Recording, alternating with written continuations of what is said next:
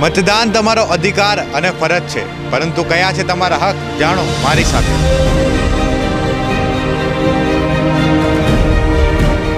પોતાના જનપ્રતિનિધિ માટે શું વિચારે છે આજનો યુવા અમે લોકો મત આપે પછી જે નેતા ચૂણીને આવે એ અમારું કામ નથી કરતો અનેક સમસ્યાઓ વચ્ચે ઘેરાયેલો છે આજનો મતદાર सबसे बड़ी समस्या सूरत के अंदर है ट्रैफिक की और दूसरा करप्शन કેવો હોવો જોઈએ તમારો ઉમેદવાર અમારો ઉમેદવાર એવો હોવો જોઈએ જે ગરીબોની સમસ્યા અને એમની વચ્ચે ઊભો રહીને બધાની સમસ્યા દૂર કરી શકે. તો જણાવો આપનો અભિપ્રાય. અમે કરીશું તમારા હક અને સમસ્યાઓની રજૂઆત. એસ નાઇન ન્યૂઝના ચૂંટણી વિશેષ મારો હક મારા મત કાર્યક્રમમાં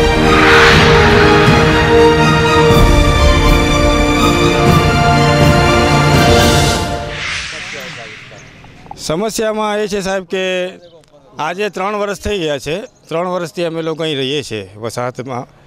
ને ત્રણ વર્ષથી અમારી જે સમસ્યા છે કે પાણીની મોટામાં મોટી સમસ્યા છે કે પાણી ડ્રેનેજ લાઇનનું પાણી ને પીવાનું પાણી બંનેઓ સાથે ભેગા થઈ ગયા છે.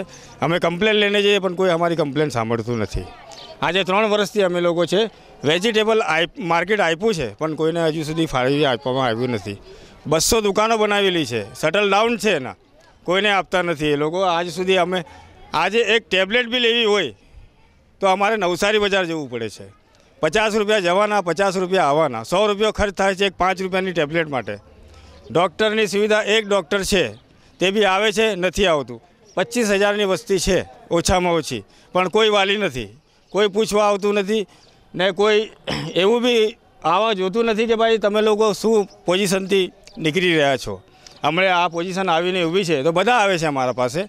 પણ અમને કોઈ ફરક નથી પડતો કોઈના આવવાથી, કોઈના જવાથી.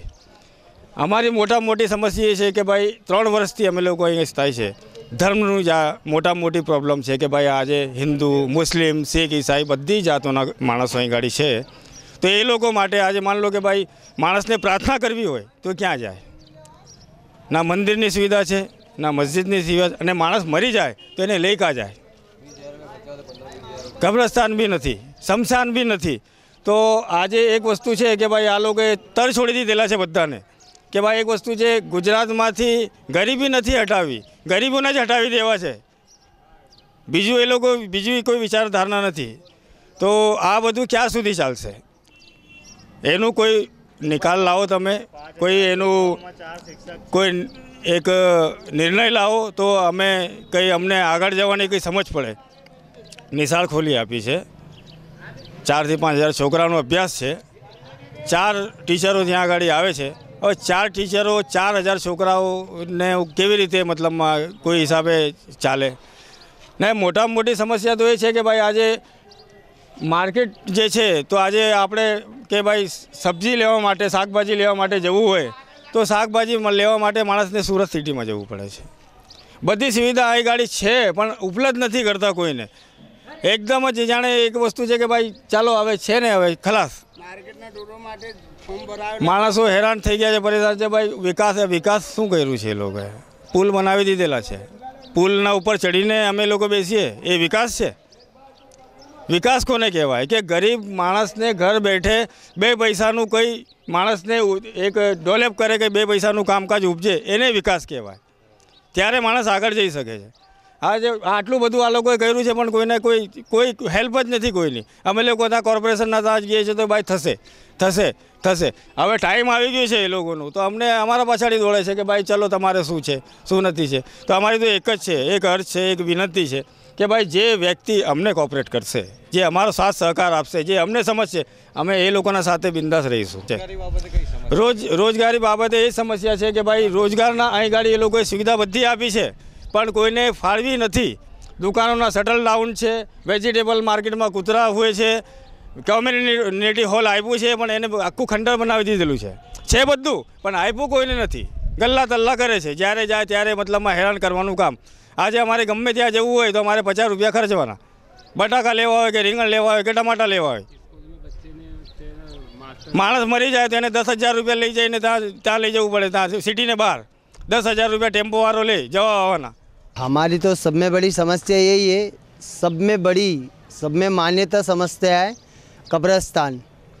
जो धर्म के मान्यता लोग हैं, अधर्म के और धर्म के, दोनों के मान्यता जो लोग हैं, अगर वो हमारे लिए कुछ कर सकते तो हमें कब्रस्तान की ज़मीन जितनी जल्दी हो सके दिला दे।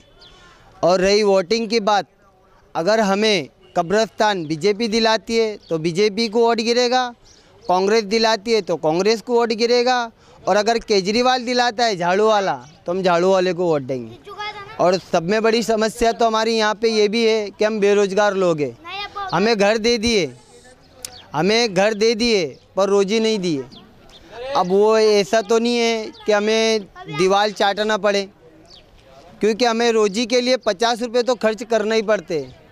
अगर आप यहाँ पे रहना यहाँ के जो भी नेता लोग आए उनसे हमारी मोतबाना गुजारिश है कि हमारे पास लॉलीपॉप लेके ना आए और बहुमती का लड्डू लेके ना आए कि हम बहुमती आपको ये लड्डू खिलाएँगे या तो आपको ये लॉलीपॉप मुँह में देंगे।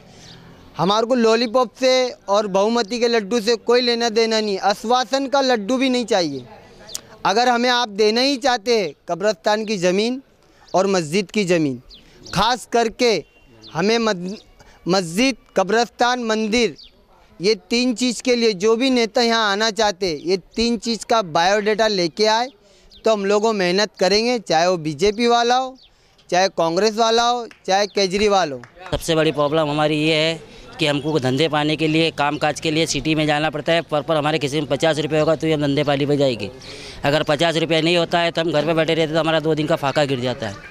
ये इतनी दूर बैठे हैं, हम सिटी से बारह किलोमीटर दूर है।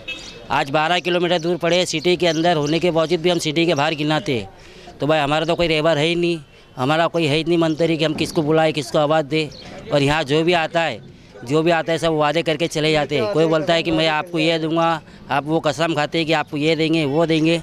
बाकी कोई कुछ देता नहीं है। ये जनता के साथ विश्वासघात करते हैं, जनता का कत्ल करते हैं। तो भाई, हमारी तो एक समस्या यही है कि हम मेहस्तान आवास में आए हैं। हमारी सबसे बड़ी प्रॉब्लम यही है कि यहाँ पानी की सबसे ज़्यादा समस्या हमको होती है और हर बात कि यहाँ कचरा पीटियों की सुविधा कम है। यहाँ पूरी गंदगी जिधर उधर सब जगह लगी हुई है और बाकी पंद्रह दिन में हर महीने में, हर दो दिन में, तीन दिन के अंदर पानी की कुंडियाँ भर जाती है। इसकी अर्जी भी हम लोग करते हैं। तो भाई अगर अर्जी अगर आज तुम सुबह दस बजे करेंगे तो कल शाम को पाँच बजे तक क्या आएगी? तो चौबीस कलाक के अंदर यहाँ सोचो कितना गंदा का हो जाता है, कितनी बीमारी फैलती है। अगर हमारी, अगर ये व्यवस्था कोई सुनने वाला होगा कोई भी पार्टी वाला हो, अगर ये हमारे सब काम करता हो, हमको मस्जिद देता हो, कब्रस्तान देता हो, मंदिर देता हो, क्योंकि यहाँ हर जात का आदमी है, हर जात को अपने धर्म से प्यार है, जैसा सबको धर्म से प्यार है वैसा हमको भी प्यार है। तो दोस्तों, साथियों, हम सबसे यही विनंती करते हैं कि यहाँ जो भी पार्टी आए, वो हमारा साथ दे, हमारा काम करे तो हम भी उसके साथ है, और हम उसका ही नाम लेंगे कि भाई हमको जो देगा वो। सबसे ज़्यादा प्रॉब्लम हमारे को यही है कि सरकारी हॉस्पिटल की तो सबसे ज़्यादा परेशानी यहाँ एक डॉक्टर होता है और तीन नर्स होती है, उनका टाइम ग्यारह बजे आने का और चार बजे चले जाने का है। एमरजेंसी तो यहाँ ही नहीं, चौबीस कलाक खाली दवाखाना नाम के लिए है। बाकी चौबीस कलाक हमको सुविधा यहाँ मिलती नहीं। अगर कुछ भी काम हो तो एक सौ आठ को फ़ोन करो। अगर आदमी पाँच मिनट में मरने वाला है तो उसको दो कलाक पहले से फ़ोन करना पड़ता है जब एंबुलेंस यहाँ आती है। अगर आप सोचो कि आज इसके आदमी की अगर इमरजेंसी केस रहा तो एंबुलेंस भी यहाँ खड़े नहीं रहती है। अगर फ़ोन करे तो बोलते हैं, यहाँ खड़े, हम लोग वहाँ खड़े। अगर कोई भी सरकार हो, हमारे मोहल्ले के अंदर एक कायम के लिए एंबुलेंस भी फिट कर दो। तो भाई कोई भी आदमी, इंसान अगर परेशानी में रहो तो उसको ताबड़तोड़ हम ले जा सकते हैं। टीवी चौपन में हमारे को जब से भी फड़ौनी करके दिया है, तीन साल जैसा हो गया हम लोग को। ना हमारे पास कोई रेबर है, ना कोई पार्टी वाले हमारे को कोई खात ऐसा कोऑपरेट करते हैं।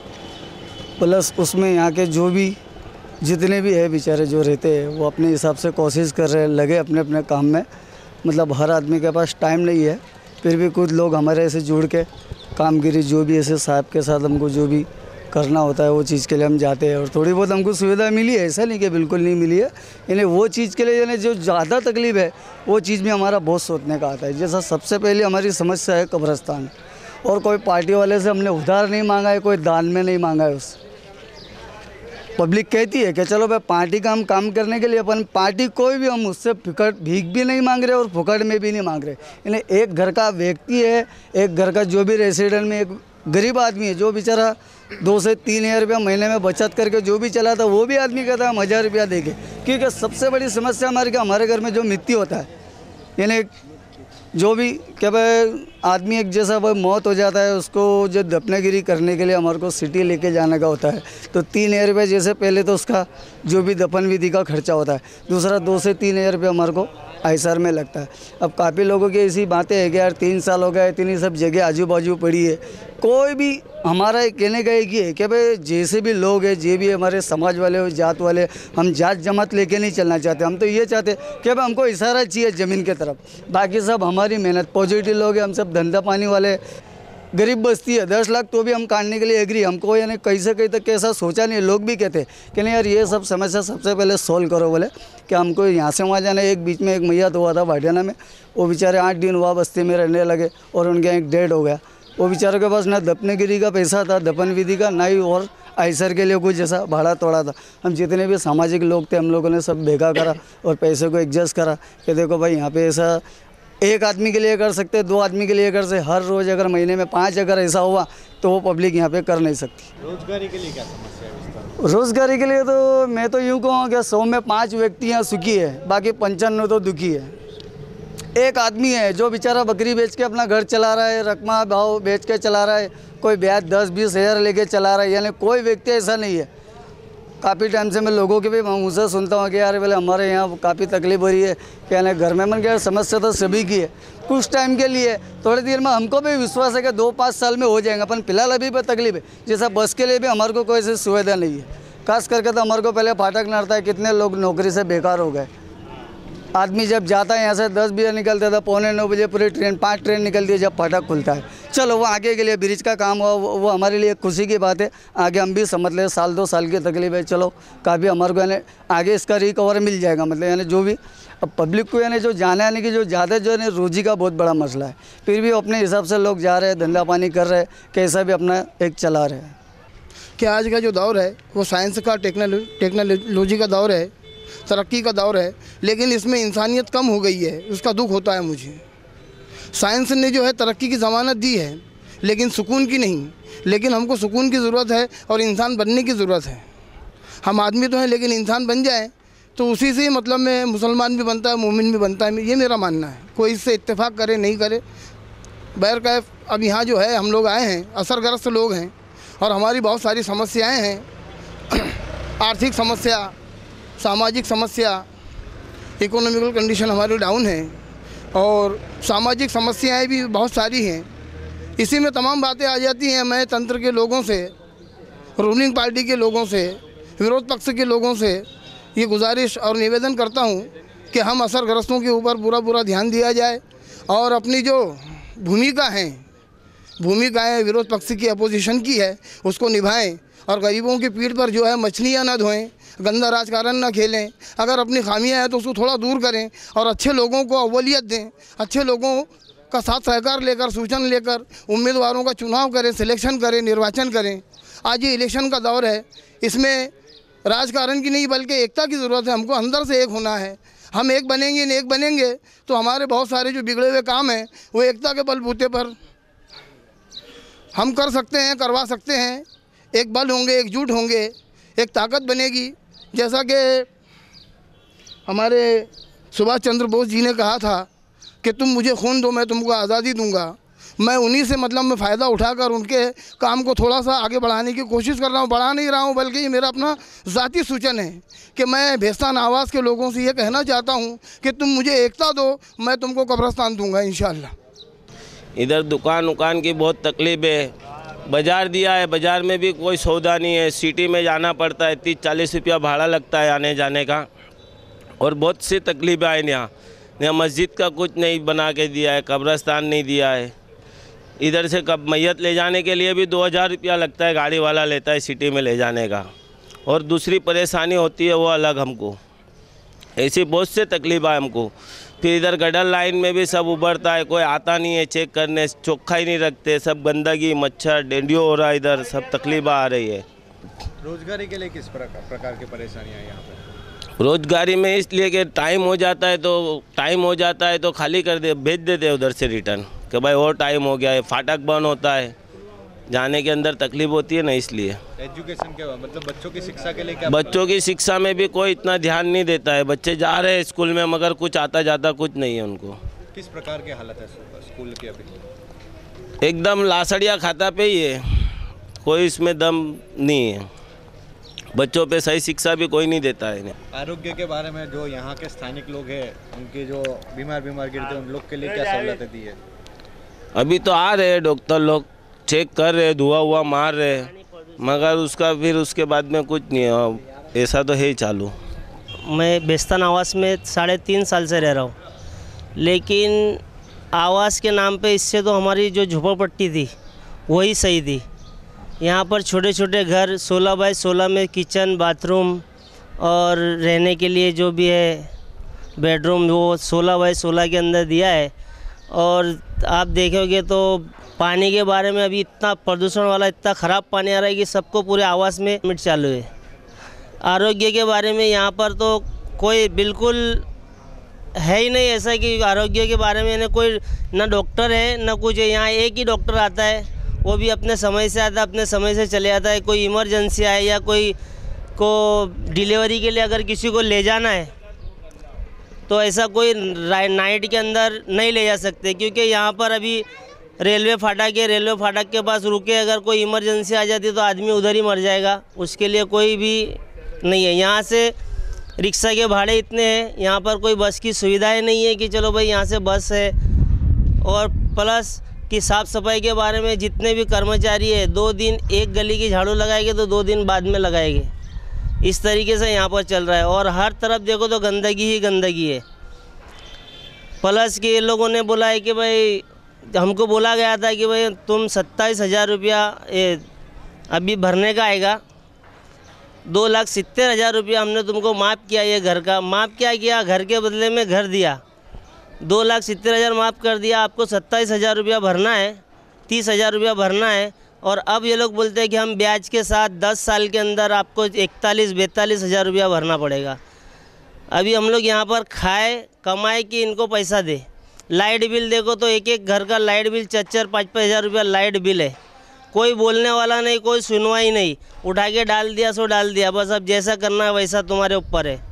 अगर लाइट बिल नहीं भरते तो मीटर काट के चले जाते इंसान जाए तो जाए कहाँ? यहाँ तक के कि इतने लोग परेशान हो गए। कई लोग तो बेचारे खाने पीने से भी उनकी मेहनत, मजदूरी का जो वहाँ कमाते थे, दो सौ रुपया। अभी यहाँ से जाते तो सौ रुपये उनका खर्चा हो जाता सौ रुपये के अंदर सुबह शाम में वो अपने बच्चों को लेके कैसा पेट पालेगा, वही जानता है। ना यहाँ पर कोई राशन की दुकान है, ना कोई राशन का कोई सस्ता अनाज यहाँ पर लोगों को मिलता है। कोई भी सुविधा यहाँ पर नहीं मिल पाती है। हमारी समस्या ये है कि जो बीस चालीस के पास जो कचरा पेटी रखी गई है, आज हमें तो हमारे बच्चों को तो जब बीमार पड़ते हैं, घर वाले बीमार पड़ते हैं आजू बाजू के जो एहतराब के लोग हैं वो बीमार पड़ते हैं तो हमें तो डायरेक्ट मस्कती हॉस्पिटल ले जाना पड़ता है। अब रात के दो बजे, अढ़ी बजे, यहाँ पे ना 108 है, ना कुछ है, यहाँ के 24 कलाक की जो सुविधा है दवाखाने की, वो भी सुविधा हमें मिली नहीं है। अब हमें तो 10 किलोमीटर दूर आ गए हैं। जो बच्चों का जो मसला है तालीम का तालीम का मसला जो यहाँ पर है तो भेस्तान आवास में स्कूल है, नगर प्राथमिक स्कूल जो है, उसके अंदर है तो टीचरों की कमी है। कई आवास के बच्चे हैं तो भेस्तान चौकड़ी जाते हैं जो दो किलोमीटर है। अब ये छोटे छोटे बच्चे कैसे जाएँगे? और दूसरा मसला है तो टीचरों का खास करके कि भेस्तान आवास में ना गुजराती मीडियम में और ना उर्दू मीडियम में। कोई टीचर है नहीं। गाय और भैंस की तरह है तो बच्चों को तो रखा जा रहा है। एक टीचर है तो सौ बच्चों को पढ़ा रहा है। आज भी तुम्हें तो रजिस्टर उठाकर देख लो, वहाँ पर नगर प्राथमिका।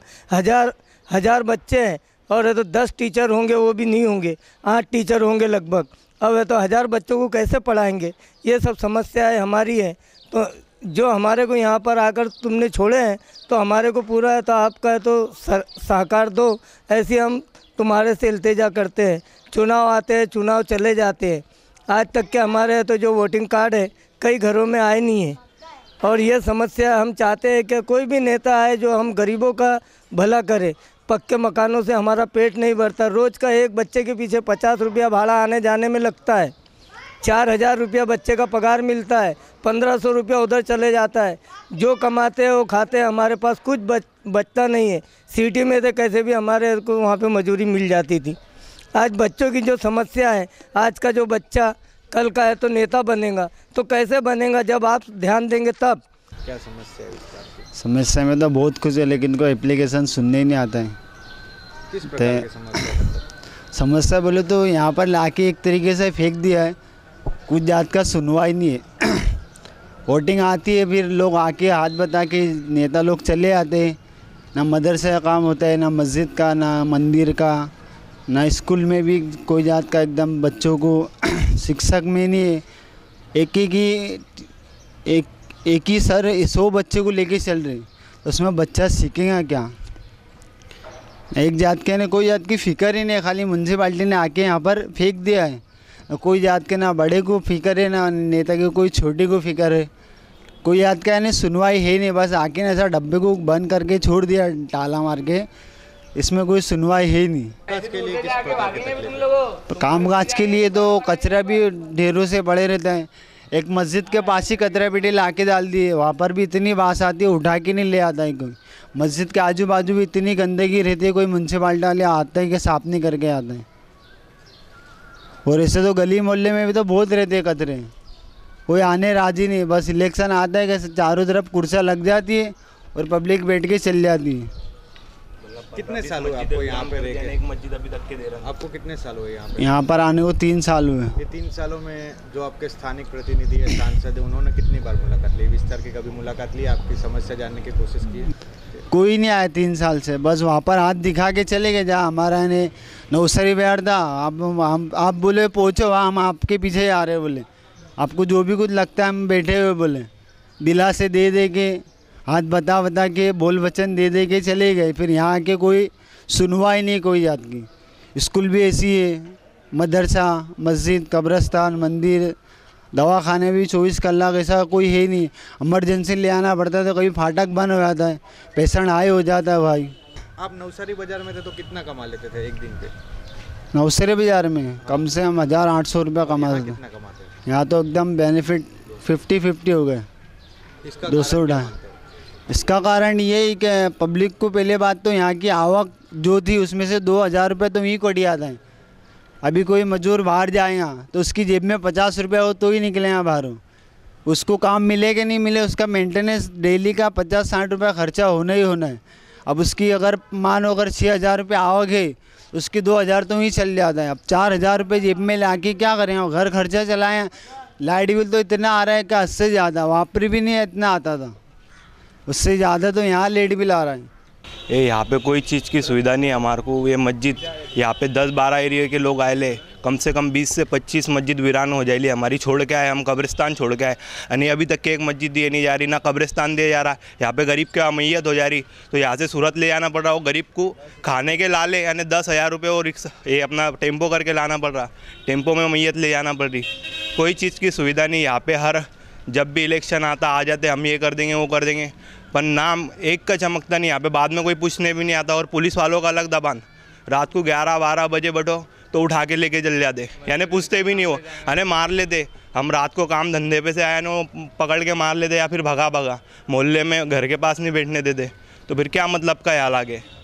यहाँ पे गरीब को खाने के लाले, यहाँ से रिक्शा भाड़ा पुरड़ता नहीं दो हज़ार रुपये तो खर्चा है महीने का, यहाँ से सूरत जाने का नौसारी बाज़ार का। फिर वहाँ पे काम मिले, नहीं मिले, फिर वही घाटे।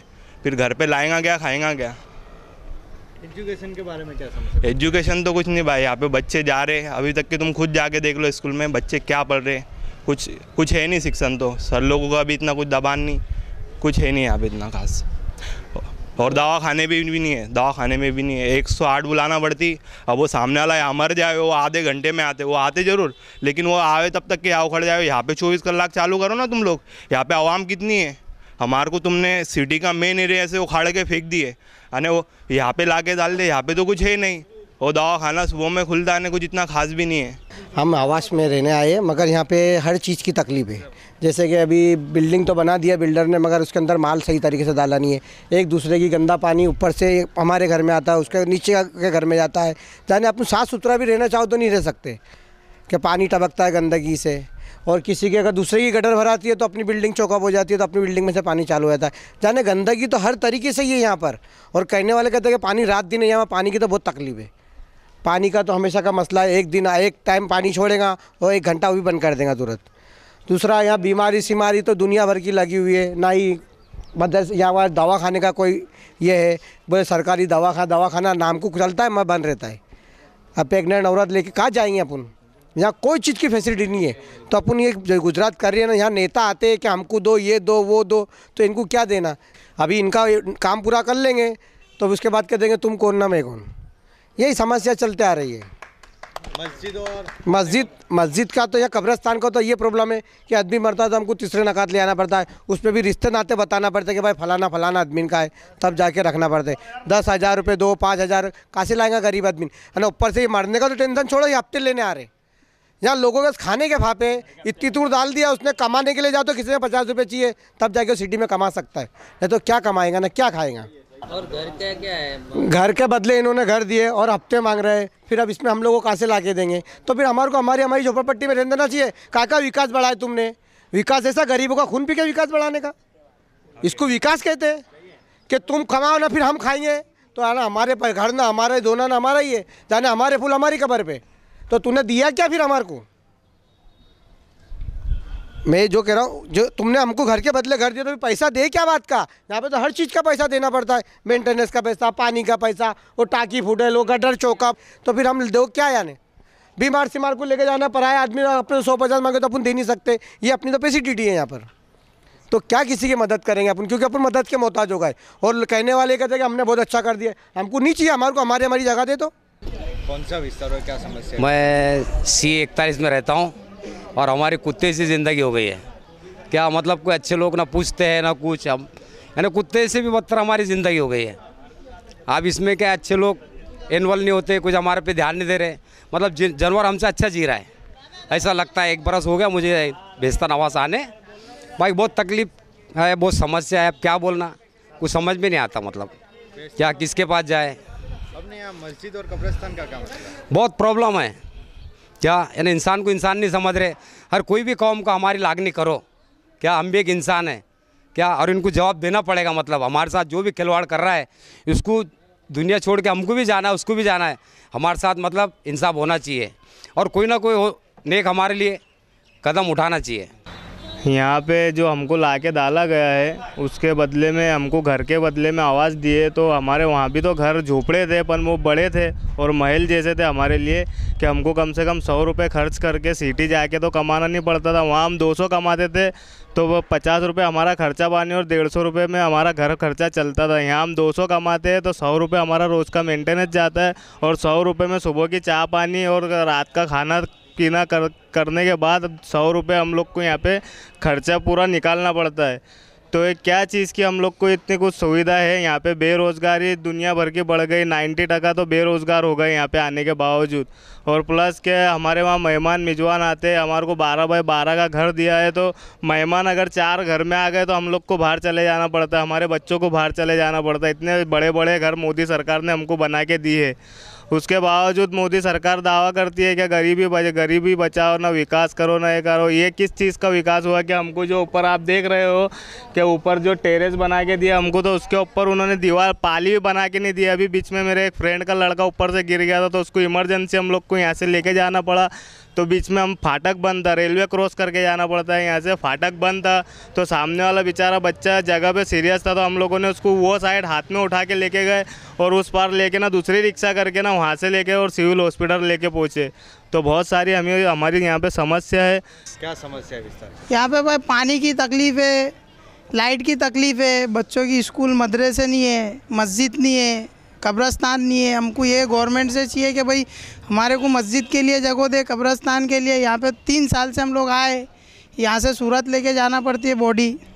यहाँ पे हमारे को बहुत तकलीफ़ है रेलवे फाटक से तकलीफ़ होती है। ऊपर टेरिस के ऊपर दीवारें नहीं राउंड नहीं बनाया है। तीन चार लड़के मर चुके हैं यहाँ पे। ये सब चीज़ों की प्रॉब्लम है। हालाँकि जनता बहुत रिक्वेस्ट करती है सरकार से, पर सरकार इतना जान नहीं देती। हो तो क्या उनके दूध केले खाने में लगेली रहती। है बस वो इलेक्शन आता है तो बोले हमको वोट दो हमको वोट दो उसमें तो गरीब इंसान मर जाता है ना अमीर का क्या अमीर तो पेट भर के खाता है उसमें गरीब इंसान मर जाता है डेढ़ सौ कमाता है डेढ़ सौ में से पचास रुपये तो उसका मेंटेनेंस चले जाता है गाड़ी भाड़ा और अगर सूरत जाने के बाद उसको नौकरी नहीं मिलती है तो फिर वो घर पे आता है तो घर पे कुछ पकता नहीं है तो आदमी करेगा क्या આ બેસ્તાન બેસ્તાન આવાસ છે બેસ્તાન આવાસમાં ઘણી તકલીફો અને પરેશાનીઓનો સામનો કરવો પડે છે પરંતુ અમે લોકોને અહીંયા લાવીને ફેંકી દીધેલા છે. એનું કારણ શું? અમે મધ્યમ વર્ગના લોકો છે. એમાં ઘણા લોકો માટે ના રિક્ષા ભાડું છે ને એમાં આવવા જવાનું કંઈ સેફટી છે. આમ જોવા જઈએ તો અહીંયા બીઆરટી બસની સેવા કરવામાં આવી છે. એટલે એનો એનો ફાયદો શું? શિક્ષણ માટે સ્કૂલો ખોલવામાં આવી છે લેકિન સ્કૂલ માટે ફાયદો શું? જેમાં મારા અંદાજથી પાંચ હજારથી વધુ બાળકો અહીંયા ભણે છે પણ એમાં ટોટલ શિક્ષકો પાંચથી છ છે. એમાં પણ શિક્ષકો ઢંગના નથી. સુપરવાઇઝર ને સ્કૂલના જે મેન ઇન્ચાર્જ તરીકે હોય છે, જેમાં પ્રિન્સિપલ પ્રિન્સિપલ અમે જોયું છે કે ઘણી વખતે નશામાં હોય છે. તેમાં બાળકોને શું ભણાવશે અને કોણ ભણાવશે? પાણીની તકલીફ, વીજળીની તકલીફ, આવવા જવા માટે તકલીફ. અહીંયા બધા મધ્યમ વર્ગના લોકો રહે છે, એના આવવા જવા માટે એના ખિસ્સામાં સોથી દોઢસો રૂપિયા ત્યારે આવવા જવાની એમને સગવડ થાય. પરંતુ એના ખિસ્સામાં સો દોઢસો રૂપિયા હોવું જરૂરી છે. એ સો દોઢસો રૂપિયા લાવે ક્યાંથી મતદાન તમારો અધિકાર અને ફરજ છે. પરંતુ કયા છે તમારા હક, જાણો મારી સાથે. પોતાના જનપ્રતિનિધિ માટે શું વિચારે છે આજનો યુવા અમે લોકો મત આપે પછી જે નેતા ચૂણીને આવે એ અમારું કામ નથી કરતો અનેક સમસ્યાઓ વચ્ચે ઘેરાયેલો છે આજનો મતદાર सबसे बड़ी समस्या सूरत के अंदर है ट्रैफिक की और दूसरा करप्शन કેવો હોવો જોઈએ તમારો ઉમેદવાર અમારો ઉમેદવાર એવો હોવો જોઈએ જે ગરીબોની સમસ્યા અને એમની વચ્ચે ઊભો રહીને બધાની સમસ્યા દૂર કરી શકે તો જણાવો આપનો અભિપ્રાય. અમે કરીશું તમારા હક અને સમસ્યાઓની રજૂઆત. એસ નાઇન ન્યૂઝના ચૂંટણી વિશેષ મારો હક, મારા મત કાર્યક્રમમાં